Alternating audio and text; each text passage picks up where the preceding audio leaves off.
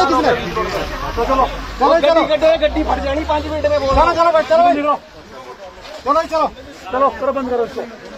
दिल्ली दिल्ली में चलता है यहाँ नहीं चलता नारेबाजी। आगे करो यहाँ से गड्डी।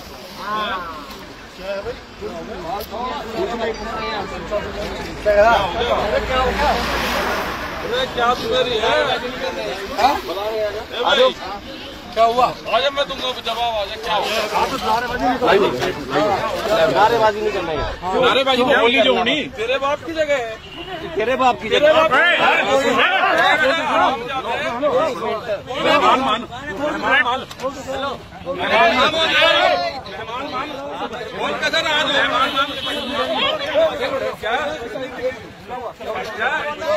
बदतमीजी करेगा तू नहीं कर रहे बदतमीजी करेगा तेरे को क्या लग रहा है हिमाचल के नहीं आदमी? इसके मुकदमे को हिमाचल के नहीं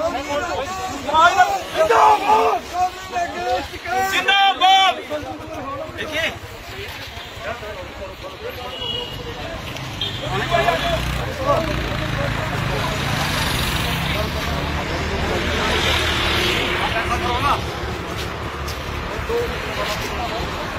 वो यहीं के हम सारे। ये बम्बई से नहीं आए हुए। कैसे यार फ़ोन करना आके खड़ा जा रहा थी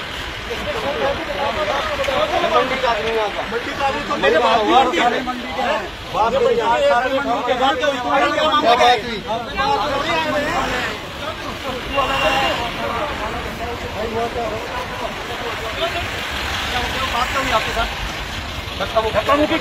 क्या कारण रहा नहीं तानाशाही कर रहे हैं सब हमने बोला कि नारेबाजी नहीं होगी मंडी में। क्यों कोई परमिशन है सर नारेबाजी करने की मंडी में? यहाँ व्यापार चल रहा है। किसान पहले ही यहाँ परेशान है और ऊपर से इस तरह से किसानों को माइंड को डाइवर्ट कर रहे हैं।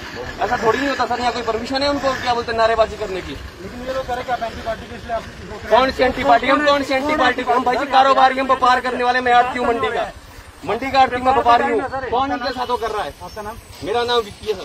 सर जब जो आपके यहाँ के व्यापारी हैं उनके अध्यक्ष तक जो इनके साथ थे लेकिन फिर ऐसी क्या मजबूरी कौन अध्यक्ष इनके साथ थे, यहाँ के सब्ज़ी मंडी के अध्यक्ष हमने भी उनको ये बोला कि गाड़ी आने दो सड़क से नारेबाजी मत करो। हमारी गाड़ियों का सैंपल उतरे रोड में नारेबाजी कर रहे हैं।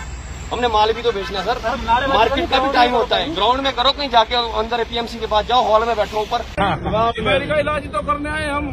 इंजेक्शन तो चाहिए ना। अरे आ जाओ, वहाँ कहाँ जाओ तुम? उसके बाद में बुलाओ ना सबको। अरे इन्हें बुलाओ सबको इन्हें बुलाओ बुलाओ।